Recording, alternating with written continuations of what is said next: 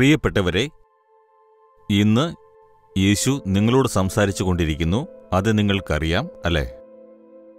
ദൈവം തന്റെ വചനത്തിലൂടെ നമ്മോട് സംസാരിക്കുമ്പോൾ അവൻ എങ്ങനെയുള്ളവനാണ് നമുക്കെന്താണ് ചെയ്യുക അവൻ എന്ത് ചെയ്യാനാവും ഇവയെല്ലാം വചനത്തിലൂടെ നമുക്കറിയാൻ കഴിയും. അതുകൊണ്ട് വേദപുസ്തകത്തിലെ ദൈവത്തെക്കുറിച്ചറിയണമെങ്കിൽ നാം വേദപുസ്തകത്തെ ശ്രദ്ധയോടെ വായിക്കണം. ഇന്ന് തരുന്ന വാക്യം എന്താണെന്നാൽ നൂറ്റിയേഴാം സങ്കീർത്തനം നാൽപ്പത്തിയൊന്നാം വാക്യത്തിൽ അവൻ ദരിദ്രനെ പീഡയിൽ നിന്നും ഉയർത്തി അവന്റെ കുലങ്ങളെ ആട്ടിൻ കൂട്ടം പോലെ ആക്കും. അവൻ എങ്ങനെയുള്ളവനാണെന്ന് കണ്ടോ? ദരിദ്രനെ പീഡനത്തിൽ നിന്നും ഉയർത്തി മേന്മയുള്ള സുരക്ഷയിൽ വെക്കുന്ന ദൈവമാണ്. ഞാൻ വളരെ ദരിദ്രനാണ്. ഞാൻ വളരെയധികം കഷ്ടപ്പെട്ടിരിക്കുന്നു. എന്ന് ചിന്തിക്കുകയാണോ? ദൈവം ദരിദ്രരുടെ മേൽ ശ്രദ്ധ പതിപ്പിക്കുന്ന ദൈവമാണ്. ദരിദ്രൻ ഒരിക്കലും മറക്കപ്പെടുകയില്ല എന്നും ബൈബിളിൽ എഴുതിയിട്ടുണ്ട്. അതിനാൽ ദരിദ്രനെ പീഡനത്തിൽ നിന്നും എടുത്ത് ഉയർന്ന സുരക്ഷയിൽ വെക്കുമത്രേ. വല്ലാതെ കഷ്ടപ്പെട്ടിരിക്കുന്നു. ഒരു കാലത്ത് നന്നായി ജീവിച്ചിരുന്നു. ഇപ്പോൾ പാവപ്പെട്ടവനായി ദാരിദ്ര്യം അനുഭവിക്കുന്നു. ഇതേ നാട്ടിൽ ഇതേ സ്ഥലത്ത് ഒരു കാലത്ത് മാന്യതയോടെ ജീവിച്ചിരുന്നതാണ് എന്റെ അച്ഛന്റെയും മുത്തശ്ശന്റെയും കാലത്തിൽ ഇന്നൊന്നുമില്ലാതെ എല്ലാം നഷ്ടപ്പെട്ടു നിൽക്കുന്നു ദാരിദ്ര്യം അനുഭവിക്കുന്നു. വളരെ കഷ്ടപ്പെട്ടുകൊണ്ടിരിക്കുന്നു. ഒരു കാലത്ത് എത്രയോ പേരെ സഹായിച്ചിട്ടുണ്ട്. ഇന്ന് മറ്റുള്ളവരോട് കൈനീട്ടേണ്ട സ്ഥിതിയിലായിരിക്കുന്നു എന്നെല്ലാം ചിന്തിക്കുകയാണോ? ദൈവം പറയുന്നു ഞാൻ നിന്നെ ഉയർന്ന സ്ഥാനത്ത് വെക്കുന്നതാണ്. ദരിദ്രന്മാരെ ദാരിദ്ര്യത്തിൽ നിന്നെടുത്ത് ഉയർന്ന സംരക്ഷണത്തിൽ വെച്ച് കാത്തു സൂക്ഷിക്കുമത്രേ. തളരാതിരിക്കൂ. ഞാൻ ദരിദ്രനായിരിക്കുന്നു ഞാൻ കഷ്ടപ്പെട്ടിരിക്കുന്നു എല്ലാം നഷ്ടപ്പെട്ടു എന്നൊന്നും ചിന്തിക്കരുത്. ദൈവം പറയുന്നു നിനക്ക് ഞാനുണ്ട്.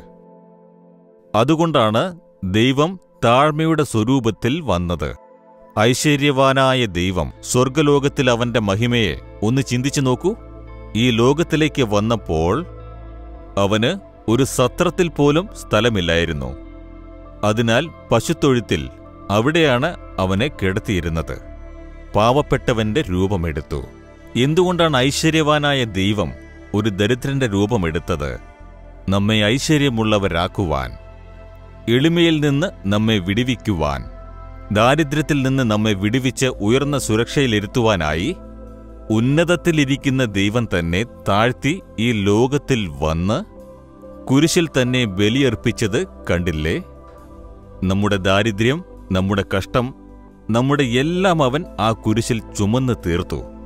നമ്മോടുള്ള സ്നേഹത്താൽ നിങ്ങളോടുള്ള സ്നേഹം കാരണം അതിനാൽ ഇതുപോലൊരു അത്ഭുതവാനായ ദൈവം ഉള്ളതുകൊണ്ട് ആ യേശുവിനെ വിശ്വസിച്ച് ദൈവമേ അങ്ങാണെന്റെ സമ്പത്ത് അങ്ങാണെന്റെ ഐശ്വര്യം അങ്ങാണെന്റെ എല്ലാം എന്ന് പറഞ്ഞു നോക്കൂ.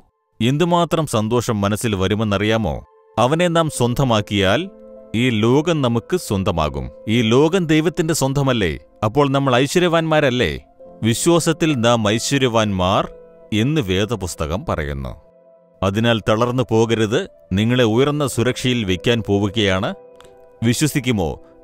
പിതാവേ ദരിദ്രന്മാരെ അങ്ങൊരിക്കലും മറക്കുകയില്ല എന്ന വാക്ക് പ്രകാരം ദരിദ്രന്മാരെ ഉയർന്ന സ്ഥാനത്ത് വെച്ച് മാന്യത നൽകുന്ന ദൈവം. എന്നെ ഉയർന്ന സ്ഥാനത്ത് വയ്ക്കുവാനായി അങ്ങ് ദരിദ്രന്റെ രൂപമെടുത്തു വന്ന് കുരിശിലങ്ങയെ ബലിയർപ്പിച്ച് എനിക്ക് വേണ്ടി കുരിശിൽ എല്ലാം ചെയ്തു തീർത്ത അങ്ങേക്ക് സ്തോത്രം ദൈവമേ. എന്നെ ഒരു ഉയർന്ന സ്ഥാനത്ത് വയ്ക്കാൻ പോകുന്നതിനായി സ്തോത്രം സ്തോത്രം. യേശുവിന്റെ നാമത്തിൽ പ്രാർത്ഥിക്കുന്നു പിതാവേ. ആമേൻ ആമേൻ.